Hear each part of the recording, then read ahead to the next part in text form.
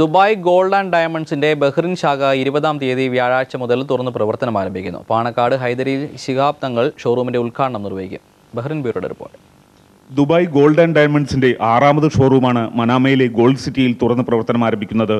ഉദ്ഘാടനത്തോടനുബന്ധിച്ച് നൂറ് ദിനാറിന് മുകളിൽ ആഭരണങ്ങൾ വാങ്ങുന്ന ഉപഭോക്താവിന് നറുക്കെടുപ്പിലൂടെ നിസാൻ ജൂക്ക് കാർ സ്വന്തമാക്കാനുള്ള അവസരവും ഒരുക്കിയിട്ടുണ്ടെന്ന് അധികൃതർ അറിയിച്ചു. മൂന്ന് മാസക്കാലമാണ് പദ്ധതിയുടെ കാലപരിധി.